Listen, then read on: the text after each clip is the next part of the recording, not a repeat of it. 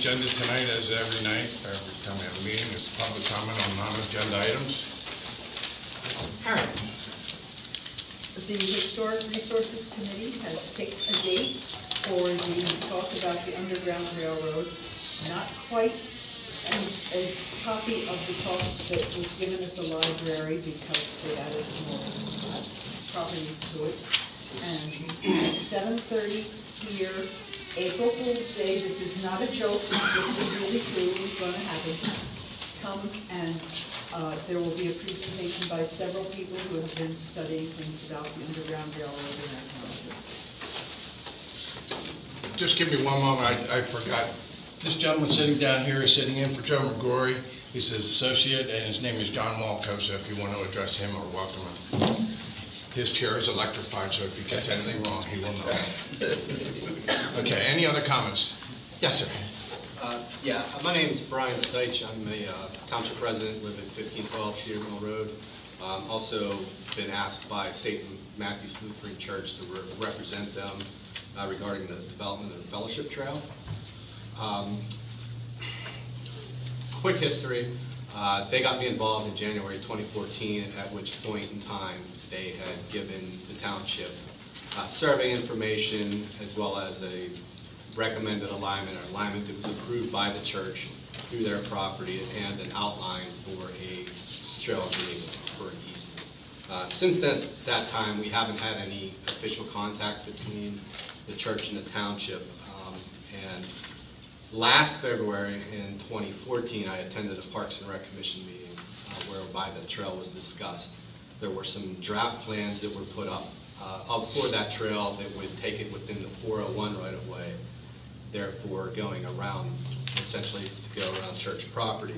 At that point in time, uh, Jim Wendelgas had stated that the reason for that is that he had received a letter from the cemetery committee from the church saying that they would not grant an easement for that trail. Therefore, that's why those plans were drawn up within the 401 right-of-way. Um, I'm here to say that my understanding as a representative of the church is the cemetery committee does not have the authority to make that decision. So the basis of those trails being in the right-of-way are essentially false. Um, The church is willing to negotiate with the, the township to, to make that trail happen, and I think that, you know, my personal opinion is that any alternative within the 401 right-of-way would be a lesser uh, quality facility than what would be that the church is initially offered. I understand there was some disagreement about the outline for the agreement that was sent over, that was another point of discussion, but um, the negotiations never began from 2014. So in other words, the township never got back to the church and said that those were infeasible type agreements. So is a good faith effort. I would like to continue to see that trail be developed and developed the right way and not within the 401 right of way. So I don't know if anyone has any comments or questions. Let's ask the board members to, to comment I think we've already decided that, Mr. Steitch. And the reason for the decision, um, as I recall, was not the cemetery committee or anything else. It was that um, the church people we were talking to, at least what I was told, uh, were advancing some ideas that we just couldn't live with, such as you can't use this if the church trail, if the church is having a function. We can revoke it at any time. I mean, that's not what we're looking for. That's what And I think those were out terms that were included in that draft outline. Right. Right, but again, that, that was never communicated back to the church. I mean, I, to me, that was the start of negotiations, not the end of it. So, Right. Well, I I mean, I think those could be resolved. The decision has been made, think. Okay, To go the uh, right you're still going to need church approval to build that, based Why? on the plans. Why? Hmm? Why? Because it touches church property. You'll need a construction easement to build it. So, Sarah? I'm wondering if the church could provide a new draft of the agreement that represented what they are proposing now as, as their counter proposal. And rather than having the township spend any more effort on it, because It's, it's not been the church's court, it's been in the township's court, and the township never replied to the church. I'm, I'm sorry, Brian, you, you said David said there were things in it that weren't acceptable, and it just sounds to me like if, if we're arguing over whose court it is, we're not gonna get to an agreement anyway. Well, I think what we're gonna have to do is talk with council, um, because I know we're hitting you with something, but would that constitute something that could be done in an executive session and then had a discussion out in the public? Uh, It could be for real estate uh, matters, uh, depending on, the- I have to determine whose property we're dealing with at that time. But um, Partly ours, partly the churches, partly the cemeteries, and partly another church. Especially, And the right I of way. mean, if if we're dealing with And uh, PennDOT. Potential disposition of township property, whether it be through uh, easements or creating trails, then that would- could be something that- that would be discussed in executive Thank you, session. John. it was Yes, sir.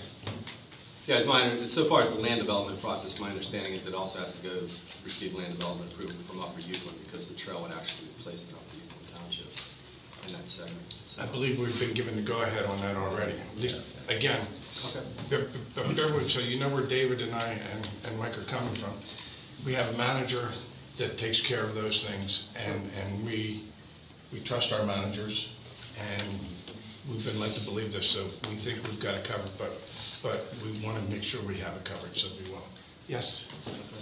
Um, I don't- um, Actually, it's on the subject. Um, Brad Dyer, who is the head of the Parks and Rec Committee, asked me to speak about this tonight, and specifically, uh, Brian mentioned what we talked about. Um, If I sat up front, could raise my hand sooner, might have helped, but Brad asked me tonight to relay from the Parks and Rec Committee that, um, following up on discussions uh, Brad has had with Timmy, the temporary township manager, that he believes very strongly that the trail should be rerouted, um, as um, Brian is offering, behind the church. Brad feels very strongly that this is the best way to do it, and that we should not proceed forward with the current approach until this is looked at seriously. He asked me to ask Timmy tonight, who evidently isn't here, to do two things. One, not to move forward with the authorization under the current plan until she's spoken to um, Brian. And Brian has made, I guess, a couple attempts to get in touch with her, but hasn't gotten a call back. And Brad Dyer is hoping she'll call him back and that we can discuss this before it gets down, too far down the road.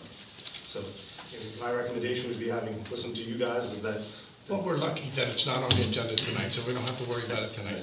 but he, I'm just, he called me, It's all well taken, and, and, and we might not look like the brightest people up here, but I think we are going to, um, to do some thinking. No, I, I, again, I got a phone call, I'm not trying to argue anything, I'm just saying, he called me and said, hey, could you ask the folks to, to talk to Brian? Taking it under advisement, thank you. Yes, Sarah? Um, I don't think that the question that's under, Say that again? I don't think the property under discussion is township. I think it belongs to someone else, so I'm not sure it fits your um, executive session policy. But my concern is that although the church may not think anything is in their ballpark, I think you need something from the church that says that Brian is their representative, since you had had official communication from the cemetery committee, something that acknowledges that it's the church organization, not the cemetery organization, or you could be back in another black hole, which is where that trail's been for years. Thank you. Any other comments? Francis? Um, the last board of supervisors meeting, there was a piece of equipment that was sold. Um, I thought at a loss because it was all, it was all rusted, because it, um, it was, it moved salt. I- I- I'm not sure I, I understand what you're saying. Brian, what was the piece of equipment? It was the backhoe, Right, actually, okay, had right. the, I'm not, uh, I'm not, I'm not. repaired. Okay. Um, I was wondering, is there any preventive maintenance schedule for something that deals with, a that, that deals with salt, the salt's corrosive? I When, when the season is over, couldn't we take, um, either wash it and, and spray a piece of equipment with something that's an anti-corrosive? I've, um, done some homework on it, and um, even Great, Great Great Dane Trailers, which is a big outfit, Um, They have a corrosion pre- prevention solution, it's called CorroGuard. And there are a lot of other trucking outfits um, that have diff- different, different ways of actually saving their equipment. That not only is the salt that they're spreading corrosive, what's, what, they spray on the roads, um, even though you get your car washed, it's still active in the summertime. Because it's like the things that you buy in the supermarket that take uh, humidity out. You put them down the cellar and all of a sudden you find a puddle. Well, that's the same thing that, that we're using on our roads. So maybe if we had, had a program, a maintenance program, we wouldn't keep falling into the trap and we have, wind up with an expensive rust bucket in three years. Well, first off, just, uh, you could be right, but I think you're, you're partially wrong. The reason if the backhoe, correct me if I'm wrong, Tammy or David, if you're not, was because the arm, one of the arms had a crack in it. And when they use it, primarily, the boom is to load salt. And they were worried about the, the, the large bucket and, and the, the weight of that doing more damage and causing harm to the driver. It was Okay, more of a but, safety issue. If I remember correctly, it was, there were, al- it was also very, very rusted. It, it, it might have been, but I don't think that's the reason for the sale, or to, to, to get rid of it. But It's still a good idea. it's a- still a good in. idea, and I made a note, and I'll try to have an answer for you next, next meeting. Okay, thank you. Yes. I have several things. One refers to what Francis is talking about. A number of years ago, I asked about the maintenance on the township equipment after mowing. One of the things that's really upset me, won't upset many people, but it upsets, upsets me as a conservationist, is that we are spreading mile a minute around this township for mowing. I don't believe that the, the road crew is cleaning their equipment after they go out and mow, every time they go out and mow. If they don't, those seeds are taken wherever they mow again, and those things keep growing. When I moved here, well, it's been 40 years, but, you know, we didn't have it, and now I'm seeing it everywhere. It's a nasty, nasty vine. It's, it it takes over, and if they don't take care of the equipment, which means cleaning it every time they come back from mowing or whatever they're doing daily, they are spreading invasive species or whatever else it is around the township. Um, And it's something I really think that, I- I- George and I are part of a big farm down in Virginia, and not as big as the township, of course, but it's 500 acres. And we are very careful there about making sure that when the equipment comes back, it is cleaned every single time.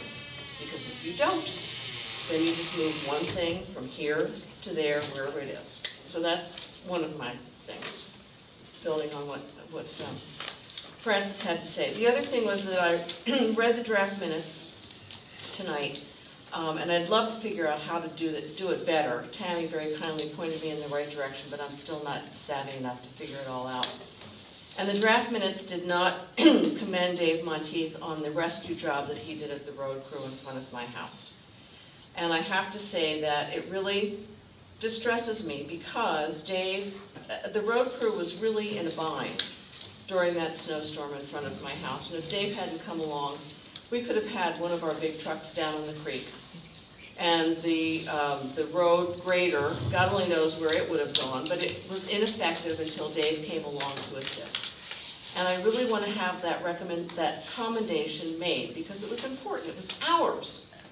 And I also stated at that time, that it was very frustrating for me that I have property in Loudoun County, Virginia, and I had several messages from Loudoun County about what was going on there during this crisis. And for them, it's really a crisis, because they don't do this snow thing the way we do. And I think it's something we have to really work on for this township. We have a huge budget, and there's no reason why people in the township should not be made aware of what roads are closed, closed, what things they need to do to be safe, who they can reach out to, because I tried to reach out. It wasn't a true emergency, because the guy didn't go into the creek, but he was just poised over it. But I, I should have been able to reach somebody, and there was no one. And I called the township, and I called the, the police department, and I called chief, and there was no answer. Now, we knew we were having a snow emergency. I mean, it's very clear. There should have been somebody here or somewhere in the township who could have answered. What if we'd had a real crisis? I mean, what if all of a sudden, you know, somebody was having a heart attack? Yes, you can call 911, and that's good. But this, this wasn't a heart attack issue. This was just a crisis issue in my mind. When that guy opened the, uh, the door to his truck and looked down and went, oh shit, pardon me, but that's what he did, and closed the door again because it was like a big drop down the creek. I- I should have been able to notify somebody. On, on that issue, I thought of something after last week, and I didn't do anything with it, but just ask, let me know if you think this is possible, and if you gentlemen might like this. If at the bottom of our agenda, the very last, there's a, a- an, an emergency notification, how to sign up for that automatic thing, and we can post phone numbers for the non-emergency, emergency, and 911. So it'll become part of our document that everybody that comes to these meetings can see it every week. Does that make sense? Yeah, it makes sense to me, it's just a footer on that document. We're talking about making it part of the agenda? It's just that- Not an agenda, just No, a it'll, note. it'll be part of the form, it'll be on the bottom of every agenda. But it's just a way of residents It'll also seeing be it on the every website. time. And it'll also be on the website because of the agendas on the website. Well, Well, that's fine. And I had two alerts through the snow emergency from Virginia. And I had zip from here. My apologies. We'll Well, try it's, to- no, no, but I'm just saying. I heard This you is last something we should, we need to pay attention to. Now, I have another thing to say. Um, Dave was removed from his, his position at the end of the meeting last, the last Board of Supervisors meeting. And I do believe we need a roadmaster um, to oversee what's happening within the township. So how do you advertise this? What is the criteria for the roadmaster? I mean, where can we look to see so someone can be recommended? Um, Is there anything that says, these are the things we wish our roadmaster to do? I happen to think that, that Dave was very qualified, and I, I know that the reasons that you dismissed him for, were whatever and confidential, but we've got to know what is out there that we need to be looking for. We need somebody who understands roads, we need someone who understands equipment, and if the township can't have a criteria, how are we gonna find somebody to do that? Supervisors haven't gotten together to decide whether we need a roadmaster or how to go about it. Um, That's something that we have to schedule an executive session and we just haven't done it. So I don't have an answer on that for you, but it'll be done in due course. Yes, Francis? Um, something that Suzanne mentioned about, um, the grass and the weeds after the, after the, they're, um, it's it's mowed and, and it spreads. I know we've, we, we don't do a lot of cutting, we cut about three and a half acres. But after I'm, I'm finished cutting, I always take a hose to the, to the bottom of my tractor and at least, you know, take this crud out. Because at one time, we had a big field next to us, didn't belong to us, it was all thistle. So you pick up thistle, and that's the most obnoxious weed in the world, and you're spreading it all over. So if, you know, if I could do it and, and stick a hose under it, I think this should be common practice for all the mowing equipment that the township has. Do we know that it's not being done? No, we don't, but Mike, you didn't hear, Mike whispered in my ear that he's gonna call the road crew tomorrow and find out. Well, don't do it now, it's too cold. I just have to say, just to, to say what Francis is saying. I mean, I never had mile a minute in my yard, never. I mean, we've had other noxious weeds, but, you know, like four or five years ago that started showing up. And I pull it out and I throw it on the road and hopefully it dies and I get hmm. enough of it out that it's not really spreading. And I mentioned it at the time and everybody sort of went, oh, poo-poo. Well, honestly, Pete, as I said, you know, on our farm in Virginia, this is, a- for us, it's a serious problem. So the person who oversees our equipment makes sure, just like Francis, that they hose off the equipment at the end of every day that they're working. It's good practice, in That's my all. opinion. Yeah, it, it cleans things up, that's the point. Okay, Brian? I'm going to start out with what uh, Francis was talking about. One of the reasons that the uh, backhoe was put up for sale was due to corrosion on it because it had been used for salt and apparently had not been cleaned up in the past. I stand We corrected. also, oh, let me- we also had a truck body a long time ago that we had to replace a truck body because of salt corrosion on it. And I think they went to a stainless body on that. It was not a cheap process. And I think the question is being asked is, does the township have a program? Not an oral history, not pass it down the line, make sure that somebody remembers it, but do they have a program? I got that when Francis asked, it. I have it written here, anti-corrosive program. And I, I told her I would find out from the road crew tomorrow. And there's more to that. There's a program for maintenance, there's a program, we gotta find out what the road And- and that- program is. That goes to my next question, which follows up to, to what Suzanne is, is do, what programs do we have for cleaning up the equipment in general? Well, we're Board of Supervisors, we're not, so you're gonna have to allow us time to, to ask them and- and get back. to. I, I, I'm not expecting that you know that, but I think it's something that, that the issue's been raised, that, you know, what programs are out there, you guys can dig it out, you are the supervisors. And I'll go to one last thing, and goes back to Suzanne again, is, you know, you can, I've got a phone number to call at the township, okay, that's good. I've got an email list that I can get onto, or an email distribution or something, okay, fine. But she made the point is, she called the township, and she got no one. It would seem that the telephones, when you're in an emergency situation, telephones should route up to either the center or not. And the other thing is potentially have someone sitting there looking for, you know, do we have email coming in? Do we have a phone coming in? Do we have, you know, she mentioned about uh, a heart attack. The thing that I thought about, because it showed up down in New Jersey, what happens if someone's house catches fire in a major blizzard like we had?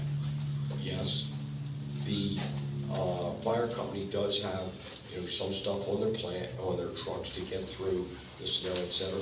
But in this heavy snow like that, you- they may not be able to make it. They, sh- there should be, in my mind, some type of coordination that goes on between the fire company and the township in situations when we have a something like a snowstorm, so that if the fire company needs to get through, that at least the township knows that they're coming, and if there's township resources out there, then they can be directed of, hey, the fire company, you know, they can't get through the snow, there's a tree down, whatever, they can go and assist in, uh, in protecting the residents of the township property.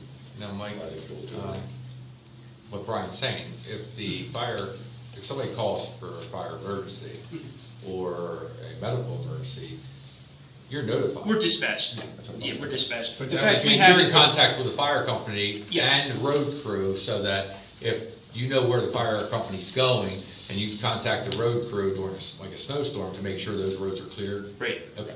And we actually had an incident uh, in the previous storm, not this last one yesterday, but the one before, uh, of an ambulance that uh, got stuck uh, over on Flowing Springs Road. And uh, we actually had the road crew come out and they actually uh, salted for us so they could get there out. First, really good con- comment, Brian, on that, but um, is there another way that, that you can talk to all the parties involved, um, Jim Gooding and Timmy, and there has to be a way to call forward during emergencies that we're missing?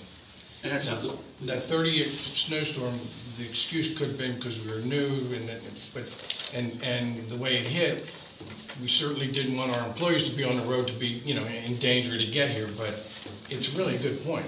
Um, I know that's what 911's for, um, but if we could wrap up, you know, the, the three offices in here, the police department, the township, and, and Jim Gooding's office, emergency management.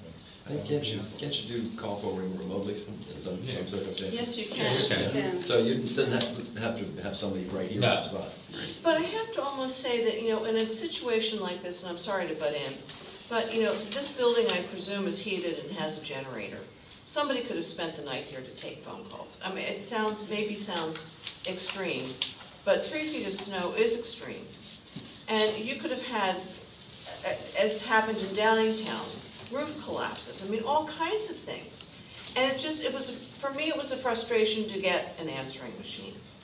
Yes, and if, if we had to call forwarding, you wouldn't get the answer. That's machine. right. That's key. But it wasn't, but there was no call forwarding, there was Granted. nobody here to answer. that- I'm not I think trying- that's gonna be I'm not correct. trying to be argumentative, but if it was I an know. emergency with the roof falling down, you would call 911. Of course I would have. So, And, and the, the truck hanging over the creek was not truly an emergency, because it hadn't gone into the creek yet, thank God. But it required immediate service. But it needed, it needed Yes. attention. Sarah? Um, Three things. I like the idea about putting the information on the bottom of the agenda. Could you think about putting it on your letterhead and then it would just be automatically on practically anything you produced? The comparison of West Vincent Township to Loudoun County is, should be compared to Chester County. If Chester County has an emergency notification system, that's the level at which Loudoun County is communicating that Virginia has county-level government, not township-level government, so they're not expecting all of how many hundreds of municipalities in West Vincent to each have their own system. We rely on Chester County for a lot of that coordination. It's a good thought. And um, the third thing is that although there weren't people sleeping here, the fire company had people staying there, some of them for 48 hours, 72 hours. They kept people at Ludwig's Corner for the entire duration of that storm. So they were ready. And so a 911 call could have reached people. Maria? On the, um, on the message on the bottom, if we could, um, allow people to register cell phone numbers, um, it is really inexpensive to do text to, you know, text a message out. Um, and the company that I use is Text one eighty, um, it's like twenty dollars a month to use, so it's, it's pennies. And although we do rely on Chester County, Chester County does not give us local information. So today I noticed there were road closures that looked like down on Redbone. You know, that would have been important to know. We had a flooding situation today, and it would be really nice if my cell phone dinged and said, don't go down that road. You know, there, there's, a- there's a, um, a road closure. And those text to, you know, a text message is done remotely from a cell phone, so it's, we just really need to do that. We've been on this for two years. Very good. Any, so you, Brian? Yes. Uh, I believe Chester County does, their system is set up that the township can use it and can focus it just on that in individual township. I remember talking to somebody down there when they changed over their system, and they said that that was one of the features of it, that the townships could use the system and have it focus just on that individual uh, township. We've got a lot of work to do here. Um, It's a good thing. Do you mind spearheading this? Fine, fine. Okay, and you, s- the letterhead on this and improving the uh, call forwarding and also Jim Gooding getting the uh, automatic uh, notification, you know, system in place, all three, all three of. So you'll give us a report next week or next meeting? Mike's in charge of that now. His home phone number is. Any other questions, non-agenda items? Thank you, folks, they're all good. Um, Moving along, next, we need to approve the minutes of the January 14th meeting and the February 1st meeting. So moved. Second. January fourth. Nope. Is it the fourth or the fourteenth? I have January Yeah. 4th. The organization meeting was the fourth, the reorg. Reorder. The meeting between. Well, we did that already. Okay. Oh, oh, I see. So January I 18th. did it correct then? Yeah, you did, and the eighteenth, right, fourth and eighteenth. Any discussion? Yes. Yes. As I stated uh, earlier, my comment commenting uh, Dave on rescuing the road crew was not included. And also, um, his termination was not included in the minutes. Is there a reason for that? His termination is included where? In the minutes of the last meeting? It would never be included there. It's a personal issue between the board of supervisors and an employee. It would be, But it was in a But you, public but meeting. you did it in the meeting. it would, but, but any, any comments as to why, wherefore would be inappropriate. I didn't. No, it wasn't listed, it wasn't It listed, just right? wasn't even mentioned at all. It happened at the end of the meeting, and, you know, it was, it was. It's a good It point. sort of took us Yes, all that by should be in there. surprise. Should be in there, right? It took us all by surprise because it was not on the agenda. And I know that Sarah said, what is this designation for? Because she couldn't understand what was being said, as opposed to whatever, termination. We did miss it? Yes, I did miss it. Good catch, we missed it. Both. So, John, how do we correct that? Can we correct it now? You make a motion to uh, amend the agenda to have that added, and then have it reflected uh, at their revisions. And then approve it. And then you would make a motion to approve the amended agenda with that added on to it. At the next meeting? No, at this The agenda, you- You're, you're amending the minutes, right? and then- I'm sorry, the minutes. the- the minutes. Yeah. I'm sorry, yes. Yes. So did you understand them? We're going to make, make, someone needs to make an official Amend your motion. motion. I'd like to make a Amend the motion minutes to reflect have the uh, minutes reflect the termination of Dave Monteith. I think we, we better re-vote on those. because we And wanna make also, sure it says and my exactly what- commendation on Dave's rescue of the We crew. want to re-vote. I- I'm going to withdraw the motion to approve those minutes. Okay. Uh, That's a good idea, yeah, That's that's a good. Good, good catch, Dave. He just made a motion to withdraw the, the original motion. Okay, Right. now, and now, Mike, are you making that new motion What's the new motion? No, we need a, s- we, to, to amend the minutes? Oh, oh, I'm sorry, yes, I already made the motion to amend the minutes to Yeah. reflect. we'll say it again. Oh, I make a motion to reflect the termination of Dave Monteith. Effective, do we need an effective date on that? It depends on what was discussed at that meeting. And also the commendation At that I at the made public about meeting. Dave's good service. And that's, I don't know if that goes on the minute, oh, that wasn't on the minutes either? No. Oh, okay. That should also That's be. public That would comment, be public comment. Don't And we list public public comment comment? has been put in the minutes before. Are we good on the There's a motion to different correct the determination? I wasn't here for the meeting. Uh, The only thing that needs to be uh, in those minutes, in the, uh, I'm sorry, the amendment would be what was reflected at the open meeting. Uh, So if what was discussed was simply a motion for termination, then yes, that would be an appropriate amendment as such. I believe that's. Yeah, did you So second that would effect- that's right. I need a second to that motion. Uh, I will second it. uh, The minutes of the February 1st meeting be amended to uh, reflect, well, it says, That's over here. So now we have a motion and a second. Um, Let's deal with that issue before we go on to see, or, um, It should go to the same, okay. I apologize for this, it's a little business. Uh, Any discussion from the audience? Then I'll call for the vote. All those in favor of amending the minutes as Mike stated? Aye. Aye. The next is Suzanne's request to have it noted in that Dave assisted uh, Road crew.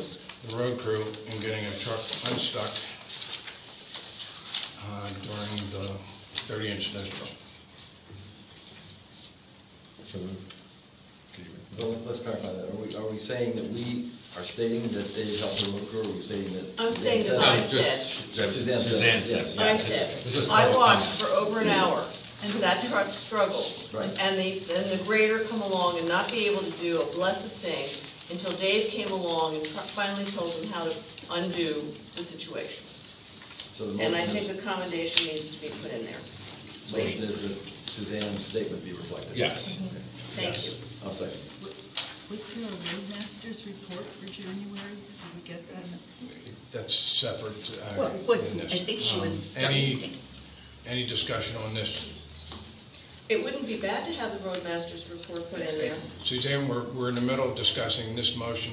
Thank you. Was there a report from the road crew about it? I was just following It's up on correcting the clarifying your minutes question. reflecting, We're just, Okay. this Right, is what. Suzanne said, not All right. Suzanne's correcting.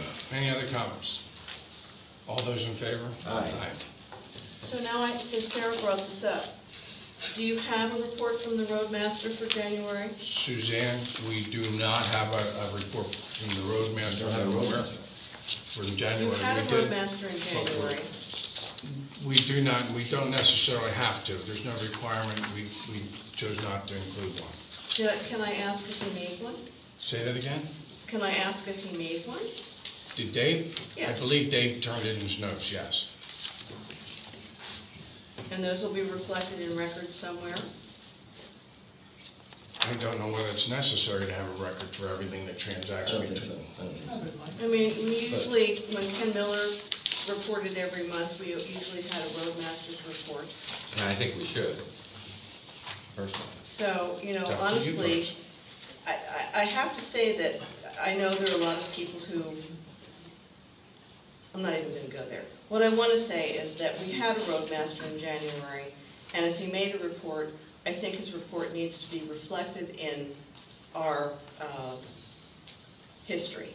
Whether you put it in the minutes or not, I don't think it, I don't know if that makes a difference, but I think it needs to be reported in history, what he did from the time he was hired until the time he was dismissed. Can we, uh, we put that in our next, put it on the agenda to read that roadmaster report? Okay. We don't need a motion on that at all, do we? Just to review it. right? Can you make sure we do that? Um, Timmy, I believe, has it. And if she doesn't, let me know. Okay? Thank you. Okay, moving right along. We Um, have You didn't do January January report. report yet, right? We need to take a vote on it? We, we need to approve the uh, January minutes fourth as minutes amended. first. Okay. I'd like to make a motion wait, wait, to, wait, wait, wait. We're approving the, the minutes of January fourth. February first, I, as I understand it, we're gonna amend those, review them, and. They're then already take them up amended and next meeting. voted on. Mhm. Right. It's, it's a preference, I mean, if it's, Oh, okay. if it's, the motion is amended, as amended, uh, that'd be fine. Out of abundance of caution, if you would like to see how it's actually written up, you could, you could wait to. To approve it on the next meeting. Right, okay.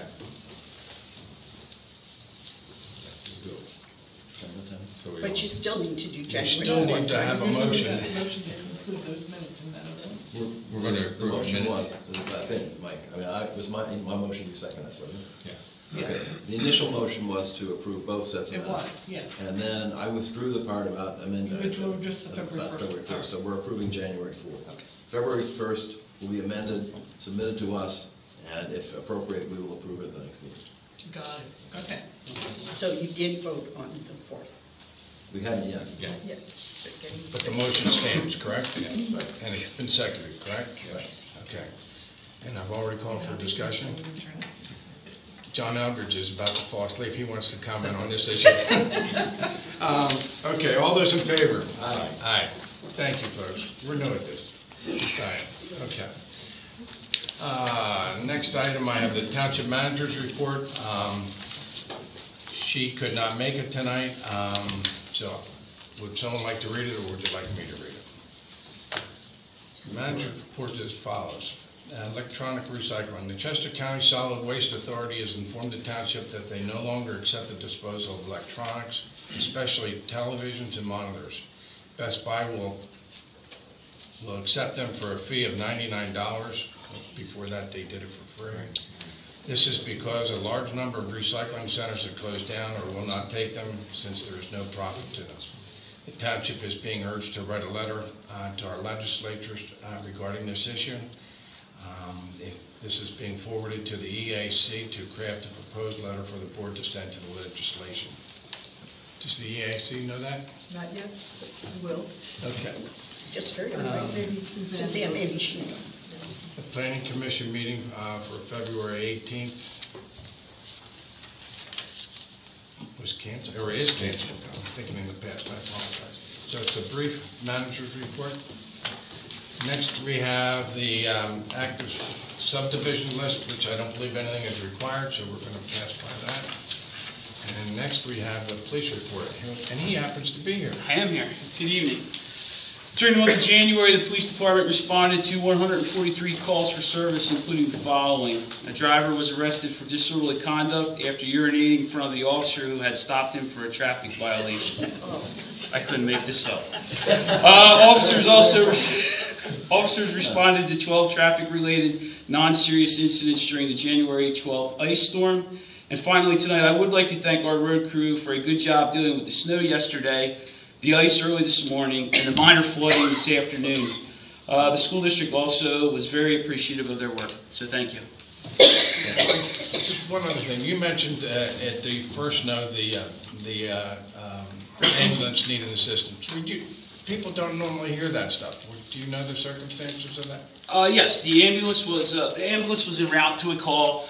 Uh, it got stuck. Um, the officer was on scene. We called our road crew out. They came out, they salted and was able to actually get the uh, ambulance unstuck and they were able to respond to a, uh, a serious 911 health uh, emergency on Pine Drive. And everybody survived. Everything, everyone's fine. Thank you.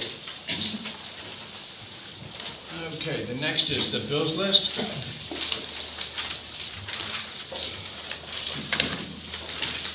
Township bills list is eighty-nine thousand, seven hundred fifty-one dollars and sixty-one cents.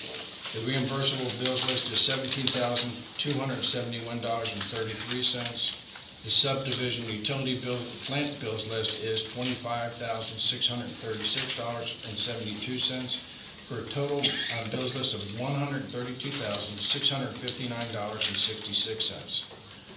There's six, um, six in- invoices to be ratified. The Ludwig's Corners uh, Supply is one hundred thirteen dollars and ninety-eight cents. Paychecks is eight hundred forty-nine dollars and fifty-seven cents. Spring Brothers is one thousand four hundred fifty-five dollars. Another Spring Brothers check for in the amount of three hundred seventy-five dollars. It's Springer Brothers, by the way. And Verizon, one thousand eighteen dollars and twenty-four cents. And MM Verizon, Matthews Meadows. Matthews Meadows Verizon, thirty-nine dollars and seventy-one cents. The total invoices to be ratified total three thousand eight hundred fifty-one dollars and fifty cents. I move with the bills list dated two sixteen and total amount of one hundred thirty-two thousand, six hundred fifty-nine dollars, sixty-six cents is approved as stated. Second. Before we open it up to comments, I doubt if we know this, but these ratified checks, we keep, They're in between the uh, last bills list and this bills list. is that gonna stop? We moved. We the- get discounts on some of them from what Danielle told me. And that's why we're doing it. Okay, any questions from the audience? Francis? Um, SERVPRO, uh, repair of wet carpeting, walls and ceilings, uh, wh- where was this? It was in between the, um, right behind Tommy's desk, um, there was a roof leak and it was wet. The So- the ceiling didn't collapse or anything? Oh, yeah. The tile was dead. Wait, Oh. Did I think they get you a hard hand? wait. I need a heart. One other question, uh, right below that, um, Siana, and there's a bill for over six thousand dollars. Is that from last year, or or is he still working, working for us? Twofold. It actually um, is a transition, most of that invoice was transitioning, working, turning his files over to the new solicitor's firm. But yes, he still is working for us in the capacity um, for the sewer system lease. Any other questions? Brian? Uh, we've got a thing from uh, Baird and Rudolph for wheels for truck one. Are they wheels or tires there? They were wheels, Brian. Uh, did we blend them, break them, they fell apart, they corroded off? The lugs wore, I've never heard this before, but elongated the holes and they wouldn't stay tight. So they had, there's also, there's another invoice for lug nuts. Okay, well, I've, I've had some personal experience with that, and yes, it can happen, but it normally happens only because lug nuts weren't tightened, and then wheel rotates, it opens out the holes. Um, Carroll Engineering, you've got a Carroll Engineering and Cedarville Engineering. Carroll Engineering was for one thousand five hundred and I'm going to ignore the uh, change in here. Uh, And for Cedarville, it was seven thousand four hundred thirty-one dollars. Is there some reason why one is so much larger than the other? Yes. Can you Do you go wanna and answer that, give Mike? us some color there? Well, the Cedarville would be all the meetings they had with staff, attorneys, and not just the ones they had with uh, Carroll. But Carroll didn't have those then. No, not those, but Carroll did have a transition meeting with Cedarville. Okay, fine, that answers it, thank you. Uh, next one, we've got Fastenal, where we've got tap and die, uh, shop supplies. Is there something new we are working on that we need a tap and die set, or did we bring something spectacular? I personally don't know the answer to that, Brian. I saw the invoice for that, but I didn't have the opportunity to, or the wherewithal to check on it. Do we have them? No. There's some of them are in But that doesn't, that's not gonna tell you why. No, Who's asking? that's true. Brian's Right, asking why. tell what it I know is. there's an invoice for it, but Brian, I'll, I'll have to, I'll have to make an inquiry. Yeah, she Okay. said, she might have forgotten. Thank you very much. Uh, the next one, and I'm gonna say our solicitor, because I don't wanna go that many times in a row. And for solicitor, please don't get insulted. Um, We've got a general legal representation, formerly, I think, probably known as General Matters, for eleven thousand. I know we've asked this in uh, prior before also.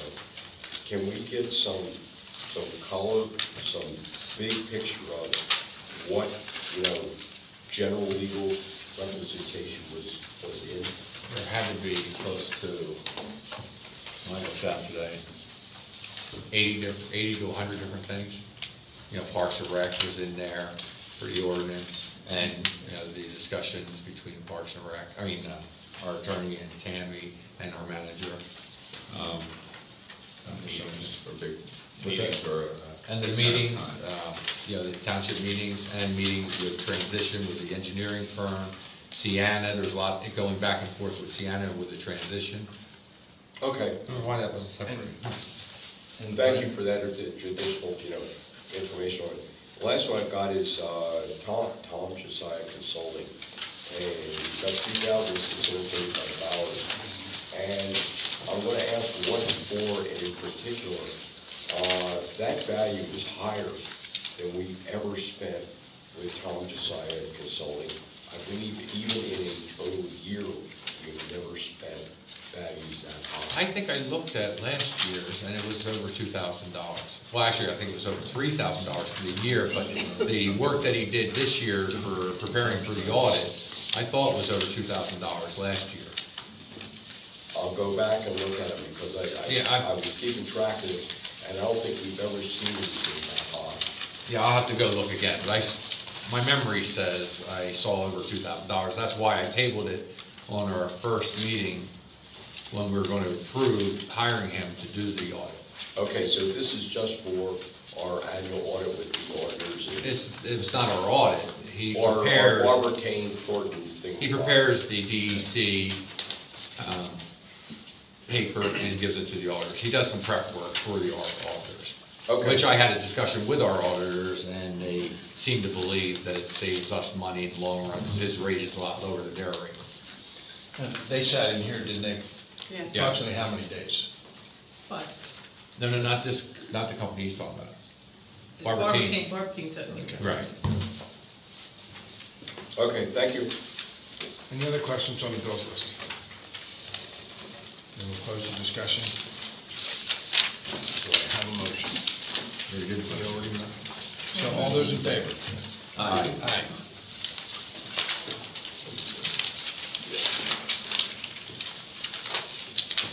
Next, we have a request to use the meeting room for the Weatherall Estates Homeowners Association on April 11th.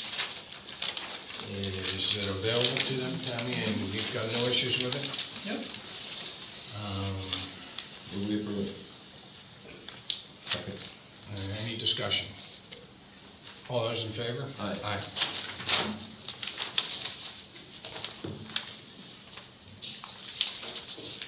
Next, we have a request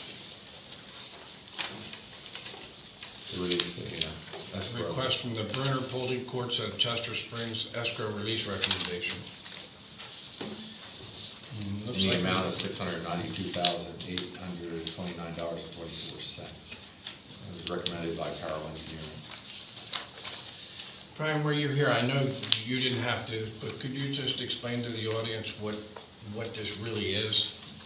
This is the first release request from Pulte Homes for their site work involved with phase one of the Bruner Tract, the courts. And the, all the work in that phase was inspected and approved by Carroll over the last, how many months they've been working out there. And this was the culmination of that phase, and they requested the release.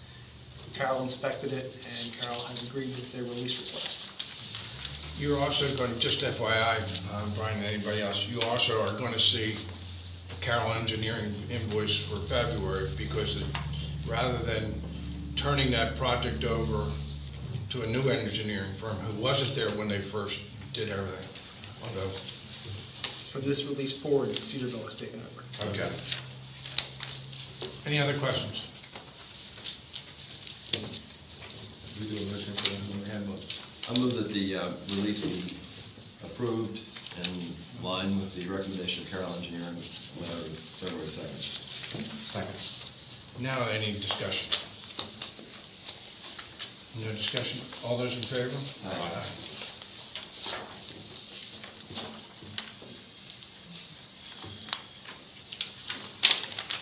Okay, the next item is the Laymen's Home Missionary, final decision on resolution nine two zero one six. I move that the resolution nine twenty sixteen be approved for the preliminary final plan for the Laymen's Home lot change. Second. But there should be more to that with all waivers. Oh, sorry. With all waivers. So can I have a second now, David? Okay. Um, Brian, do you want to enlighten us on what this is? This is the formal motion to approve the lot line change plan as discussed at the last plan commission meeting and also at the last board meeting. Was discussed where they removed the lot line and this is, there was no issues. Carroll had reviewed the plan. They had no engineering issues on their letter to, to withhold approving it. I reviewed both the plan at that time and their letter and I have no engineering issues either. Any questions from the audience? Maria? Um, the last time this came up, there was a question about the right-of-way for PennDOT. Um, and they talked about the, the little stone wall in- across from the Rosados. Whatever happened with that? Okay. Actually, you probably know what I know a little bit, and if I don't fill it all in, you can fill in the blanks. The, at the request of the township, the um, engineer record went out and surveyed the location of that wall. That wall is currently within the PennDOT right away now. So there is a, the applicant has agreed to provide additional right-of-way up to, I believe it's 25 feet from center line, uh, as an offer of future dedication if so taken by PennDOT or the township. But if any more than 25 feet is offered by the applicant, it renders the, not the laymen's home, but the other prod, the property to be a non-conforming lot. The front yard setback will not conform with the township ordinances, so they can't offer more than 25 feet. Thank you. Correct, and that- and that's reflected on the the plan. There was a revised plan that indicates the same, uh, and that's one of the conditions that they have that uh, eligible to be dedicated to the appropriate agency uh, when, and if requested. That'd be a condition of approval. So you're saying basically that the wall could go today, so it doesn't really matter? Okay, I was just wondering about the wall. Thank you. Any other questions? I believe we have a motion. A second? All those in favor? Aye. Aye.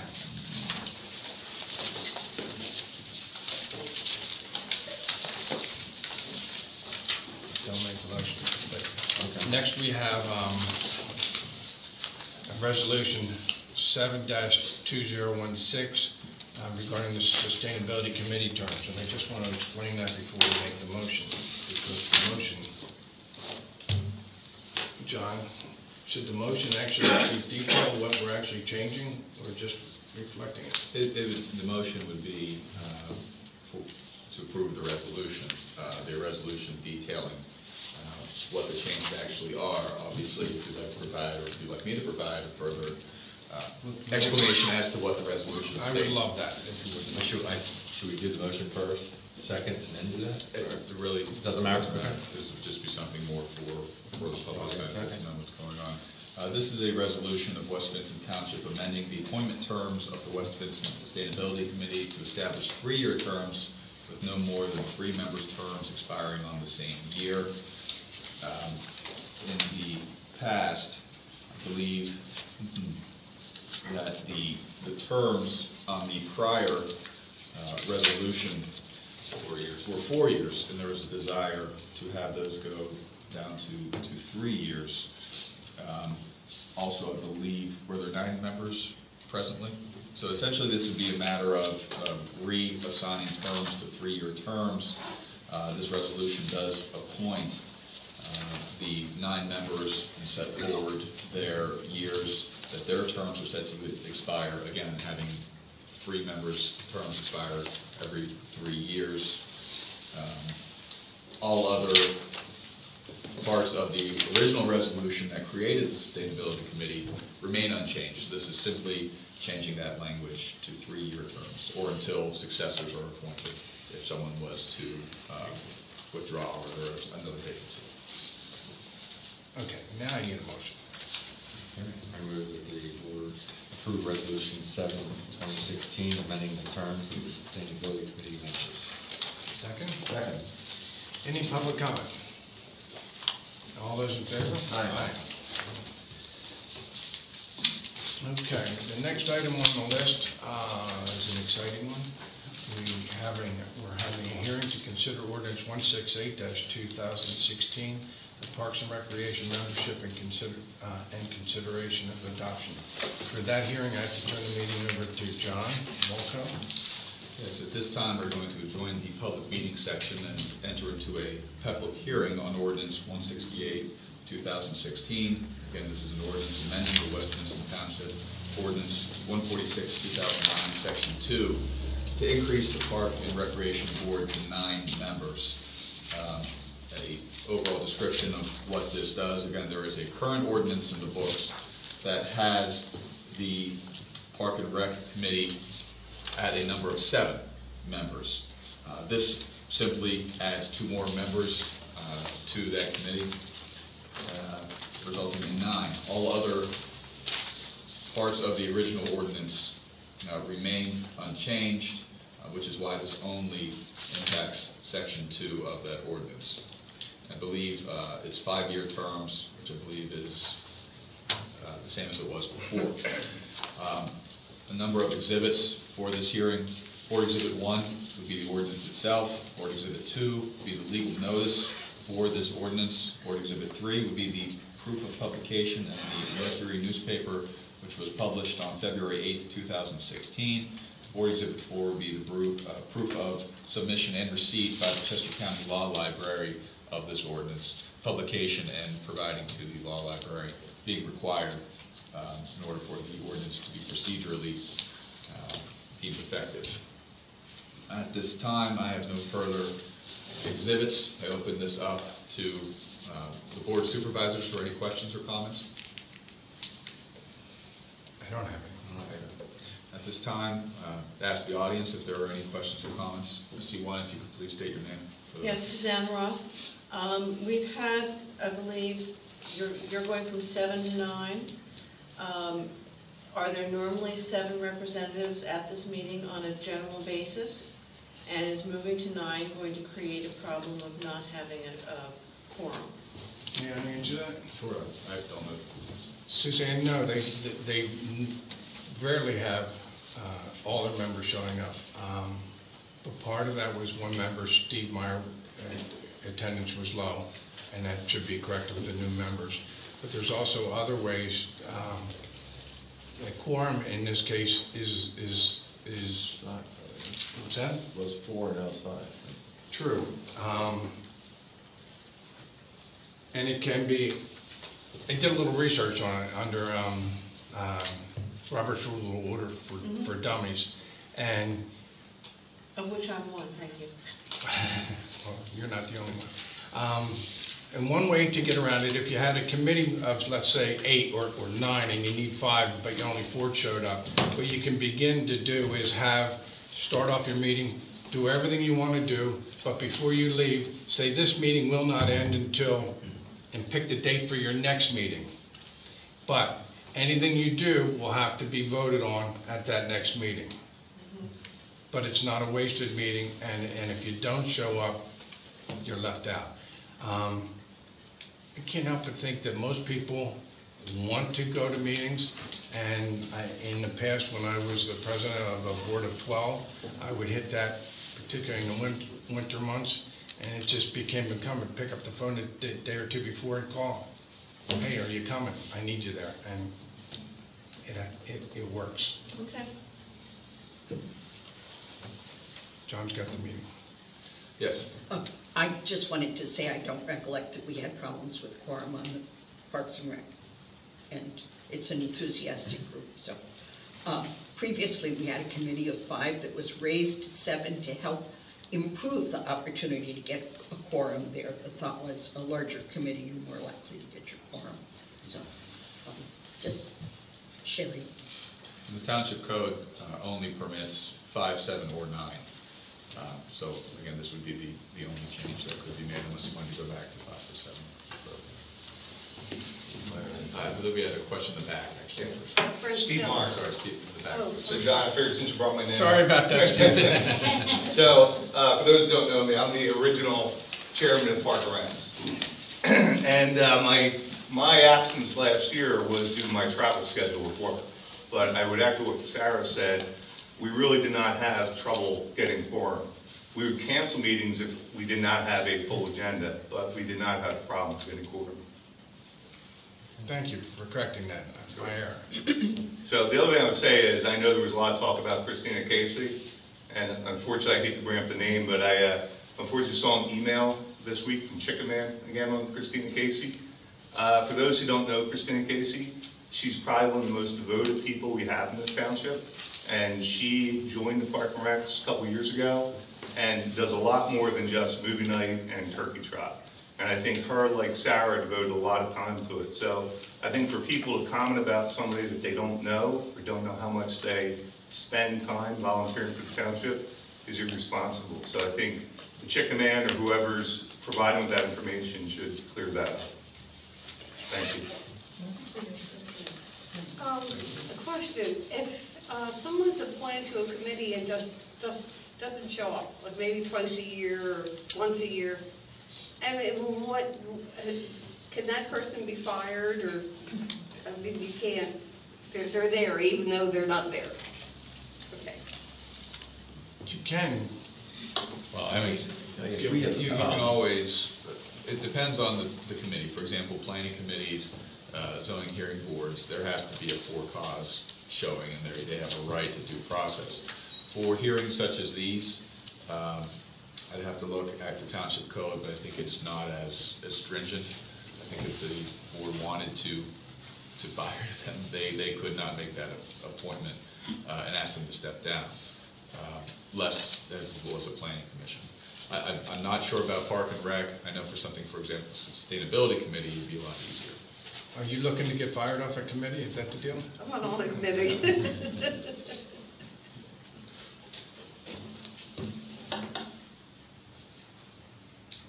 Any other questions from the audience?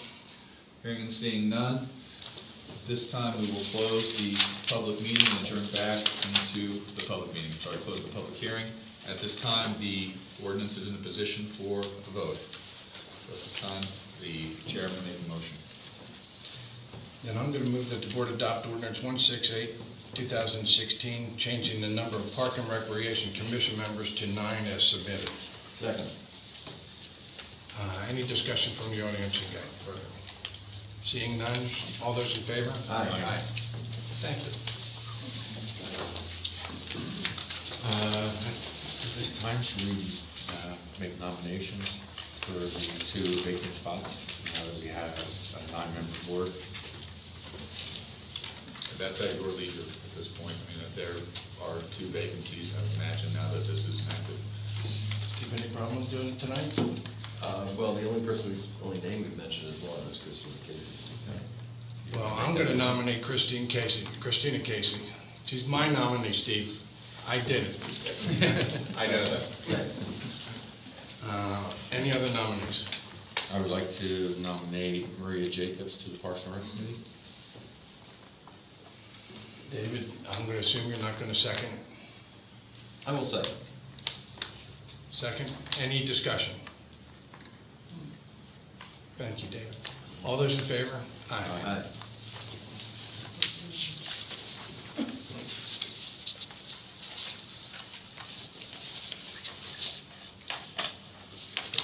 We just snuck something in on there, okay.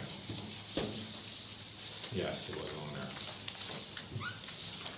there. Next, down to item 10, new business, authorize the advertisement um, of ordinance 169-2016, establishing the minimum regulations applicable to the Chester County Emergency Communication System. I move that ordinance 169, 2016, establishing minimum regulations applicable to the Chester County Emergency Communication System be authorized for uh, advertising. Is there a second? Um, Folks, what this is, um, the county instituted a new radio system, and this gives them, John, are you familiar with this? Yes. Uh, Correct me if I, if I misspeak. This makes us have certain equipment that can penetrate all buildings within the county, not just in our township, and testing and uh, remediation if it doesn't quite meet up to spec. So there's annual testing on this. Um, It's really, it's one of those things, we can vote on it, but we really have no choice. I assume that okay? That's accurate. And this is a, this is a- essentially a form ordinance that all the municipalities in Chester County are passing Yes. at the same time. So any questions from the audience? Brian? I noticed this is uh, 169, the prior one was 168. Does that mean that we've passed 167 ordinances this year already? No, I don't think so. I think the, that's 169 ordinances From the From- beginning. from the beginning. That's why there's a 2016 behind it, to give it a date. So in other words, the year only indicates the year that was passed, not as that number of ordinance in that year. Correct. Okay, thank you. That's all right. What does it mean to penetrate a building? I see cannons. Some radios, particularly in brick and high-rise buildings, radios have difficulty receiving the signals from outside. So the signal from the transmitting radio has to be strong enough to penetrate that building. Thank you. Yes, Yes, Mr. Chair, that's actually a byproduct of the 9/11. Uh, Firemen and police officers weren't able to talk in the towers. Yes. Thank So we have a motion, second, now we have to vote on it. All those in favor? Aye. Aye.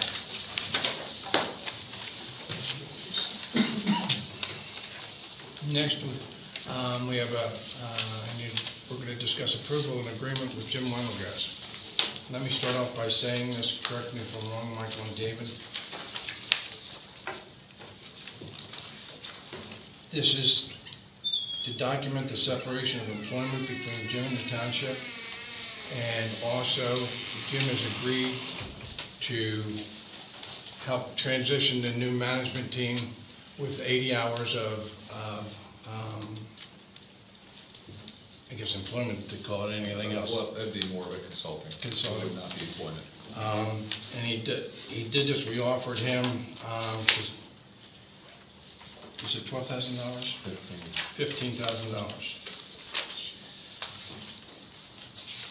Did I leave out any important points? Um, No, you did say release, right? Separation. Separation. Yes. And release. And- and And release, I think that's- Yeah, that's the, Most substantial part. right. Let me just say that this is the first time right this minute that I've seen this. I see that Jim signed it. You know, I'm, You know, I apologize, I thought we, No, I have not seen it. David, I do apologize. Um, Tammy, we've had this for quite some time, haven't we? Uh, it's dated the third of February. that Jim But before that, I, I'm sorry, I wasn't allowed to see it, but say that again? I was not permitted to see it until the third when Jim signed it, so that's all. Would you rather table this until next meeting? Jim's already signed it. It'd be nice if I could have seen it before he did. Yes, he should. If he's approved it, I'll, I'll look. I did- well, I don't know how that, how that. I don't know how that happened either. Um, But I owe you an explanation, I'll find out. You talk to Timmy about that one?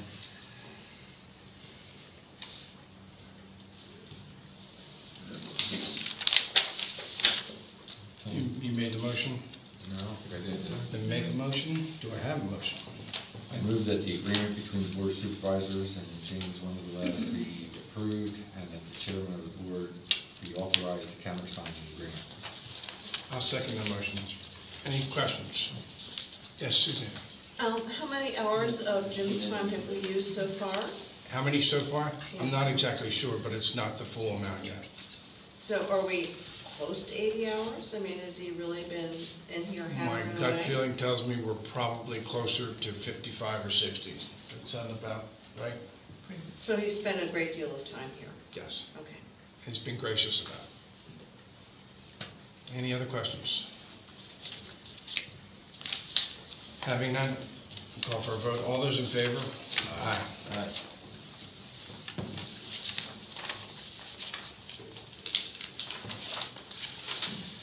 Next is a resolution eight two thousand and sixteen, PECO grant application.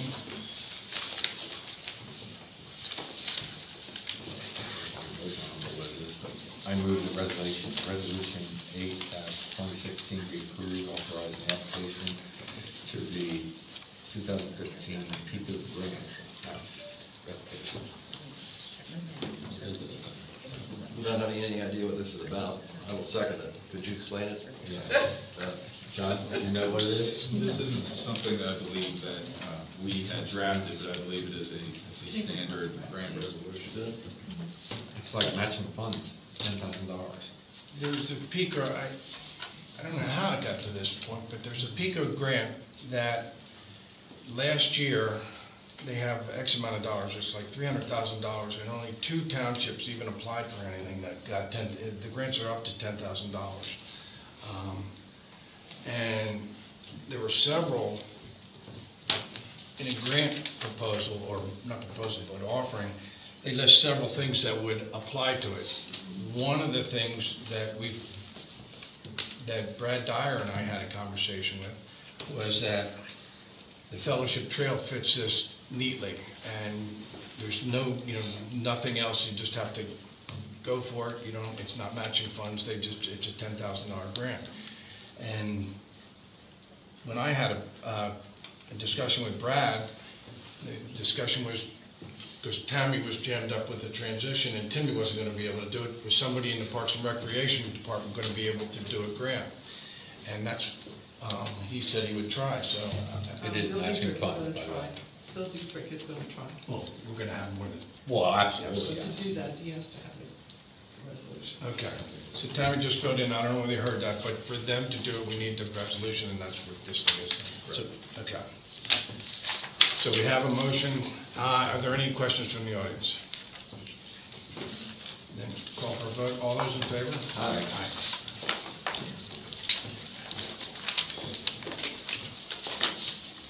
Next is a quote to do a yield study uh, on the RM district as it pertains to the um, Ammon tract. Um, Before we go into a discussion, let me, um, before we have a motion, Brian, could you explain what this is going to do, what the purpose of it is? This is in response to the request from the planning commission at their January meeting to look at the zoning ordinance as it applies to the Wheeler Amen tract in the RM district and to evaluate the lot yield potential of that tract based upon the provisions in the ordinance. Explain to dummies what a lot yield is. In, in the township zoning ordinance, there is several categories of environmental constraints, whether it be wetlands, steep slopes, buffers from existing streams or, or um, ponds that you have to net out of your gross tract area then to be able to determine what the lot density, the density that could theoretically be developed on a property. Even sewer availability and types of sewer systems? No, No, that's not a part That's of it at all. part that's not part of the yield. This yield is just a, what the ordinance states based upon density, the number of units that could be developed. Does it take into effect, uh, the setbacks, streams, floodplain? None of that? Yes, Yeah. sep- streams, floodplains, um, steep slopes, and any buffer areas that are, there's a whole, there's a list of, I believe it's six items in your ordinance that you're required to net out of a tract area prior to taking, But setbacks aren't part of it, like setbacks for a lot, no. no? It's not, that, this study is not to that level of detail. And Brian, if- if if I understand you correctly, what you're saying is that this study would be under the present zoning without changing anything. How many lots could go in there? Yes. Okay. So, so that is, and it's been explained to me, um, Parks and Recreation, wa- wa- Parks and Recreation, sorry, Plan- Planning Planning Commission, Planning Commission wants to know this so that they know what what we're talking about. Okay. Okay. On that bas- basis, I'll move, move it to be approved. Okay. I'm sorry, I didn't catch what track that was. Amen. Wheeler, England. Okay, I put it, okay. and then what's RM district, just for, Residential mix. residential mix, density, high density. I move that the board request Cedarville Engineering to do a lot yield study on tax parcel twenty-five five four. Second. Okay, and one other thing, just to, before I get to this, Sarah, the, the, the cost of this uh, is broken down, um, I'll break it, give it down the way it's broken here. Subject track, track background research, seven hundred and sixty-four dollars, lot yield determination, nine hundred and thirty, transferable development rights determination, four hundred and fifty-six, and lot yield study of six hundred and twenty-three. For the total value of this, it's gonna cost the township is two thousand seven hundred and seventy-three dollars. Yes, Sarah? Um, I was the person on the planning commission who requested this study, and I had thought we would look at the, all of the undeveloped property in the RM district. The RM district includes the West Vincent portion of Kimberbrae, so I did not mean that, but there is a parcel that's owned by East Pipeline, also in the RM district. So, um, I don't know if you want to include that or not, but I don't it's think we do 25 because it acres. would be adding to the cost much, I would assume, correct? And Yes. It's it'd not a township. it- there- there'd be it's in s- our township. Oh, you said West Pipeline. The East East Pipeline Pipeline. owns it in West Vincent Township. Oh, if you want to add that parcel, um, we can get it, there'll be a slight increase, but it probably won't be more than, probably two hundred dollars, more than what's on there to to add that, because it's be a few more, needs some more work in the background study, but as far as the additional um, work for the lot yield study, that it wouldn't affect those costs. There's a few more background costs. But there's nothing else in the district except uh, Mr. Raymond's farm and the. the- And Kimberbrae. And Kimberbrae and East Pipeline's land, is that right? That's the only two pieces, to my knowledge, that are not developed in the RM district. And is, is this a not-to-exceed estimate, or, No, this is a flat rate. It- That's how much it's going to cost well, it us. seems to me we used to do TDR estimates on the Open Space Advisory Committee during a meeting, so I'm. This isn't just a TDR. I understood, I, I wrote down all of the components that you had, so I was just surprised. How do you feel about enlarging this by approximately $200? If you, if you want to make it a not to exceed, you can make a nice round number, you can make it. three thousand. That would make it Uh, $227. Okay. I'll, I'll amend the motion, uh, not to exceed three thousand dollars. And And to include include- East include the Pipeline. parcel. And that, that includes, yes, includes the East Pipeline part. District. That's satisfactory, John? That would be, I'm sure, if you ask the engineer whether they want to provide a new agreement for signature, but if it's already approved, you would need to vote to approve it. I need a second. Uh, Didn't- Second. Second. Could we get a new amended proposal from you? Thank you, Brian. Any questions, Maria?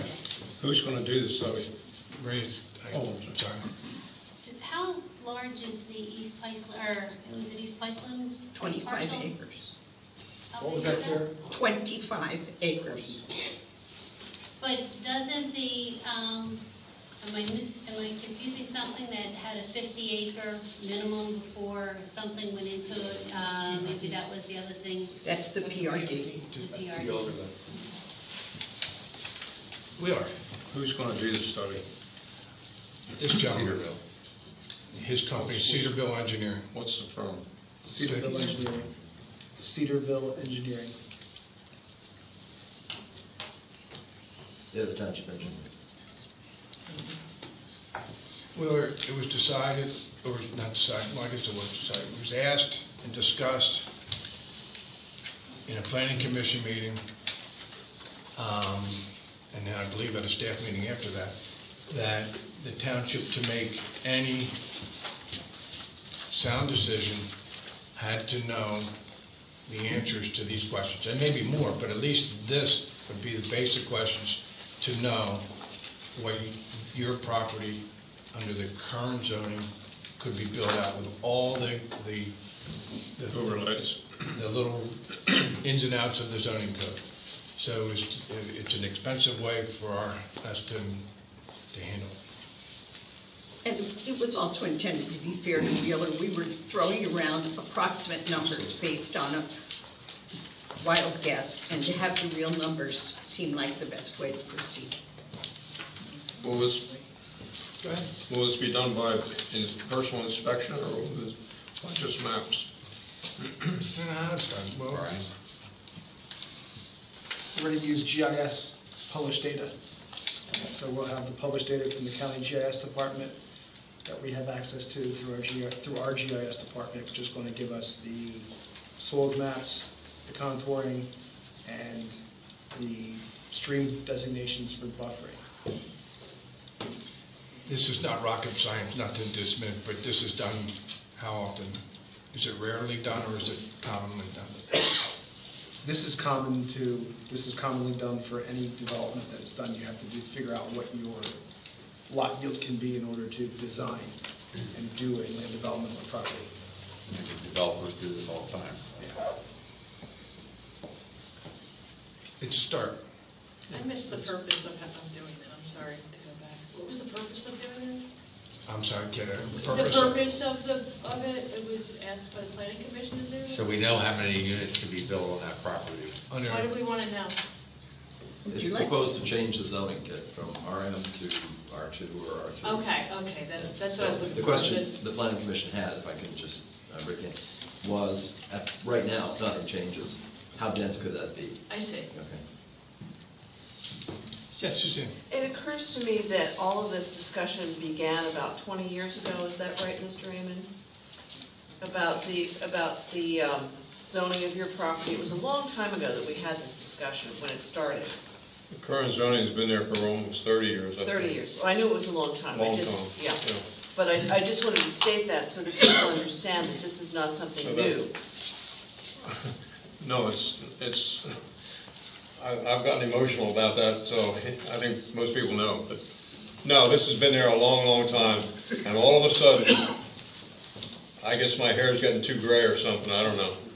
But We're all getting now, there. now, now it's very critical. Right. And, uh, So you need to yeah, I'd, I'd like to know where it came from, but I'll never know that.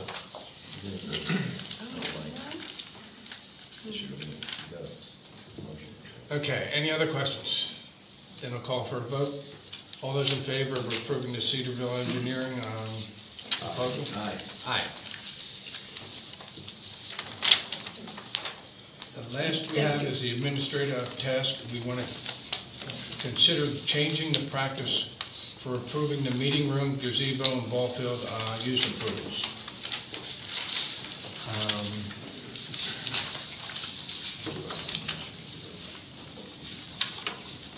As I understand John, I'm sorry, John. No, no, no, I was debating whether to explain to the audience what we're trying to do before we get the motion or after, it doesn't really matter. Okay. Um, As my reading of this basically says that instead of every application coming to the Board of Supervisors, the township manager basically does it. Uh, So we don't have to approve every single use of the meeting room, the gazebo, or that sort of thing. Um, And normally, I think it's within, within the discretion of the township. I think it was also to fix something too, right? Yes. About firearms. Correct. John, were you familiar with that? Yes, uh, um, the background, uh, and this has been developing today, so there will be some updates for the board, nothing too substantial. Um, We we were asked to look into, to change the established policy for the building use rental in order to change it to uh, manager approval. We did some cleanups um, as well. Um, In the course of looking through the policy, it's brought to our attention that part of the requirements is that there be an indemnification and a waiver of liability signed by the applicant. However, there wasn't a, uh, a mechanism to have that waiver signed. So then we obtained the permit application, uh, which was only for the parks and the gazebos, and didn't really pertain to the building use. And that policy didn't have anything where you sign off on the waiver of liability. Uh, So we, we altered the gazebo and park application to, to create that waiver of liability language. So if you have, want to apply for the park gazebo, you have to take responsibility for it. We also created an independent application just for the building, which also has a waiver of liability on it. Uh, It was brought to our attention today that the policy as stated uh, really restricted the applicant to be someone who is a resident of the township. And that hasn't been something that has been followed, uh, because oftentimes you'll have groups that benefit the township, uh, that there are township members part of that group, but that person that's actually reserving room isn't from the township. So we actually also changed the building use policy uh, to really remove the requirement that the applicant be a member of the township. However, the requirement that the group still provides some benefit to the township remains. So in the building use policy, the two main changes are, again, taking it out of uh, supervisor's uh, realm to approve it, as what was done earlier at this meeting, and again, making, uh, making it that uh, an applicant need not be a resident, which was not the policy that's been followed, and creating an application for just the building. Okay, so I move that the policy for the township meeting room, gazebo, and ball field request be changed as submitted to the West Vincent Building Use Policy. Second. any comments from the audience? Brian? Prior to this, the old policy, everybody knew, you know, who was meeting, taking the gazebo, et cetera.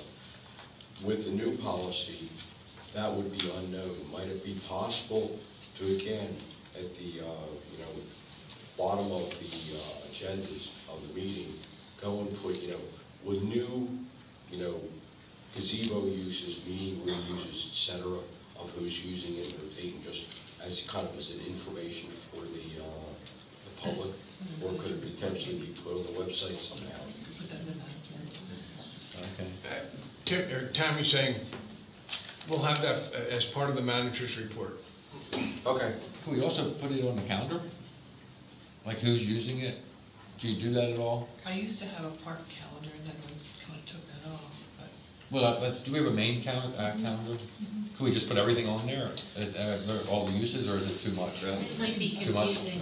it's too much. All right. Does that satisfy that, putting it in the township manager so the public gets informed of it, hopefully ahead of time anyway through that mechanism? What does, what would happen, um, groups that wanted to use this would have to submit, and they couldn't, they, they might have to wait two weeks to find out that their meeting room was approved. By that time, you know, they might not, you know, be able to make arrangements that quickly, so this just makes more sense. Harriet? Uh, Do I have to apply to Tammy for the Historic Resources Committee to have the Underground Railroad talk on April 1st? Yes, That'd be, you sign that waiver. consider it done. I'm just, I just want to know what I'm supposed to do. She'd previously given her permission for it, so that was rescinded. Okay. Start over. I think it makes good sense to um, put in of the manager, not the board. I don't think it needs to come to the board, and like you said, the wait is weeks. So that's great. Um, But um, just curious about the change of uh, the applicant not having to be um, a resident, but yet the group should benefit the township in some way. Now,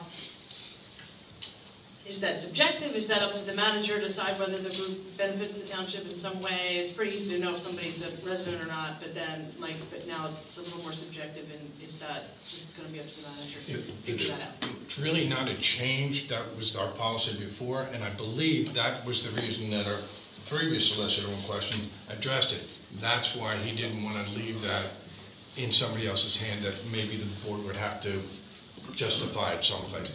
But until it happens, you know, it just seems to me, why, why protect against something that, that probably won't happen? Until what happens, I'm sorry. I- I- as you have to make a decision on, on someone living right across the street that might happen to be in Upper Uwchlan, um, because they're not a township resident, but they're right next to us. Um, Does that make sense? I, I have a, happen to have a meeting um, that we used to have in this room, that I have in East Nantmeal Township Building every month. Uh, I mean, it happens, and it, and it's a good thing. We're, we're all part of the same community, even though we might have different townships. Yes? I think uh, with, get, um, with what you're saying, um, Tammy and I, on Parks and Rec, in my early uh, stage here, I'm now involved in the calendar planning for the fields. And uh, Tammy pointed out to me that there are some guidelines um, that they do use, and I think that helps go where you, I think you may be going with this, and I agree with you. You know, it's important that if we have, uh, to our residents, that our residents have access to the fields and the gazebo and the properties, and they have, you know, preference to it first. So if we've got our, you know, parents with kids who are playing soccer and stuff, they have access to the field, perhaps before maybe an organization down in Downingtown. And- And it appears, as I'm learning this, that some of those guidelines are in place. And I think the important thing is that as we make this transition, that the township supervisor, or Tammy, who- who's, not supervisor, uh, township manager, and Tammy, who's managers, have those guidelines in the areas where we want them, so that they can make decisions that keep us happy, and also that they have guidelines to go against, so that they can say to the outside organization, hey, thank you for your application, we appreciate your interest, we've made the decision to go with Coventry Soccer, because according to our guidelines, that's. So the guidelines are already there? I, I I don't believe they are for the gazebo in the park. Yeah. Uh, I think there's just a number of rules, which is the kind of rules you On expect parks to and find rec in for the the park. fields, there are some practices that maybe need to be codified into language. Um, But um, I agree with you completely, again, I just wanted to point out, it appears in my early, kind of dipping my toe in this, that those are there, and perhaps we need to make some of these things clear, so that there aren't any problems. Any other questions? We have a motion. All those in favor? Aye. Aye. Um, Can I ask one more question? I wanted to go back to the, go, We before you shouldn't end, allow that's you, all. but because we like you, do you have any problems? Go ahead, Bill. Okay, thanks. Um, Do you have an idea of when this would, ballparkish, when, when it would be completed? I guess my first question is, I'm gonna get the township a revised proposal. When are you going to, is the motion enough to authorize me to do it, or decide to have somebody sign it, or you- is the board member to sign my We proposal? we did pass it, right? we did pass it. Yeah, we already passed that. I can cross that out and put three thousand dollars not to exceed. And sign it? If you'd like to, and and add additional language, as long as it's okay between both parties, then I'm fine with the appropriate number. The, right now, the anticipated delivery date is in, in time for the March planning commission meeting. By the March meeting? So it'll be ready for the March planning commission meeting. That's the last Thursday in March. Okay, and. Third, will- third Third, Thursday. I'm sorry. Will that be a written document, or will that be a verbal document? It'll be a written document provided to the township. Okay. Will we be able to get a copy of it? I can't imagine why not. That's it, thanks. Um, I'm waiting for a motion. No, can I, uh, for what? To adjourn. No, no, I, I mean, I would like to see if we can make another motion. Do we add one to new business? Sure. Well, considering that the community garden was referred to as a park in one of our previous meetings, I would like to recommend that the community park go under the Parks and Rec, since it is a park. I guess we never really did that officially, did we? It's really, it's kind of flying around. Yeah. It's, yeah, it's nowhere at this And point, I Park- think. Parks and Rec did send that recommendation from their last meeting, so thank you, Mike. I'll second that. Um, Any questions? I, I have a question. I, I heard that there was, there was talk about sort of putting public water at the garden. Is that really true? S- Was it approved? No, no, no. There was talk of doing it. Have- Has it gone any further than just talk? No, actually, I can give you the best answer. I, I, I know exactly what you're talking about. It confused me, so I, I, I asked for more personally. I'm sure I'm not the only one. The verbiage wasn't quite right. And, and I said I would like to know. And then it was withdrawn from the agenda for some reason. I'm, Okay. um, but I'm not sure why. Good. My questions were, and this is going to go then to the um, Parks and Recs. Um, When I talked to Timmy, um, I guess it was yesterday, it might have been today, yesterday about this. My question before I would approve that is I'd want to see a budget for, for that park, um, for all expenses. I mean, I, I- I want, personally want to have a community garden, but not at any cost. I want to know what the cost is. And that was a large number, eleven thousand one hundred dollars for that. I'm still not sure what it was, but I think it was just for a water meter. It, it used to say concrete well. That's what it said, but, but I, I, I asked for a clarification, and it got back to me very late this afternoon, after it was pulled from the agenda, that it was, um, I believe it was the, the end, right, they had to put a water meter in a concrete pit so it wouldn't freeze. But does the water meter have a water line coming to it? I hope so. Well, Yes, it wasn't- So then it's not just a water meter, it's the line is on the other side of Westover Road, so it's bringing the water Yes, to the site Exactly. and having a Yes. freeze-proof meter. I, forgive me, I, I, yes. Okay, just, Francis? Why can't people bring their own water? I mean, they're not coming from New Jersey or outer space. Uh, it's, it just seems ridiculous that, that, first of all, the community garden, or community rock garden is way over budget. And now, you know, spending eleven thousand dollars on, on aquifer hookup for, for, for, for water. We're not there, we're, we're I not mean, there. it just And seems like it's. Francis, they do have water, they don't need to go bring it from their And house. that discussion will, will be had. Okay. I think it just might be useful to say that we did have water on site with a big tank Tank. that was filled. And so this was just A making it a, a permanent solution rather than. Yes, and, and plants do need a fair amount of water regularly. Can I make a comment on that? rain's for. Sure. Having, having needed water personally regularly on a period of time, we had a mule that sat in our front yard for probably six or seven months when we had no water. And it functioned pretty well to do uh, laundry, dishes, all those things, you just couldn't drink it. And it would have been fine for plants, just the humans couldn't drink it. So I'm sure there are ways that we can go around fixing water for that garden that's not gonna cost eleven thousand dollars. And I oh, just put that. That's a good discussion. I'm sure you'll have another opportunity in I the bet I future. will. Join Parks and Rec. We'll be talking about that. But she can attend the meeting, she's not You prohibited. can, yes. Motion Make it follow. The community garden. Okay, so, You got a second? One second. Okay, all those in favor? Aye. Congratulations, Parks and Recs. You- You now have another son. Um, Then there's a motion to adjourn. Second. I did know. All those in favor? Aye.